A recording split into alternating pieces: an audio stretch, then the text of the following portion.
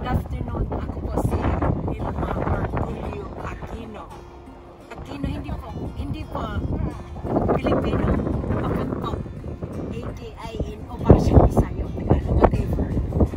Ah, nakatira po ako sa Kanagawagan. It's a part of uh, Sagamihara.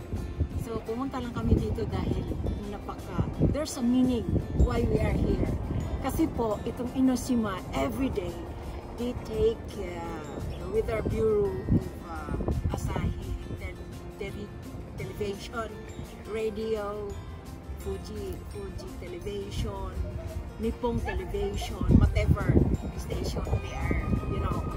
So, yun po, kaya may meaning po bakit ako nandito. At saka, itong lugar po na ito is very refreshing.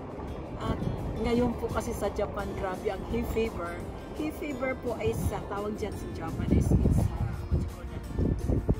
It's a kahongshu. Kahong. And then, sa atin po yun, yung, it's allergy. Eh? So, allergy for the pollen of the flower. So, if the flower will blows on the air, so it becomes, you know, it's itchy in your eyes and your nose, whatever you feel. Sometimes, you, feel feverish or atamay-tay. Atamay-tay sa Japanese. And sometimes masakit ang ulo. Kaya minsan, pag nandito ka sa Japan, always bring, not, not this time, it's coronavirus, uh, 2019. Every year, we suffer this such a kind of hay fever. So, uh, yun, we always wear our mask maligo. Everything is laging maligo. Hindi lang nata coronavirus actually. So, uh, yun po. Kaya, panoorin niyo po ang video ko. It's uh, Nelma Aquino, Philippine, Philjab, Filipino and a Japanese, the combination. Both Japanese and Filipino. Because if I'm here in Japan, I will have to plug in in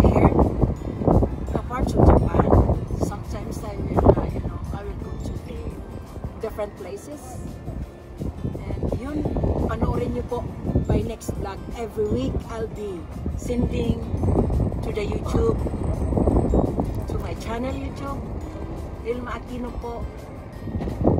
And uh, lagi niyong panoorin. Very exciting. And sometimes if I have to go to the Philippines in my home country, I will take charity. Abangan niyo po ito. Super exciting. So while andito, hahanap din ako paraan na makatulong ako sa kapwa ko Pilipino sa Japan. Because I'm I'm a member of the Philippine uh, community here in Tokyo. And uh, please, kung sino man mga anak niyo dito nakatira sa Japan, kung sino man ang gustong magpa-member sa akin, hanapin nyo lang ako. Abangan nyo lagi and please like, subscribe and click the bell. Don't forget.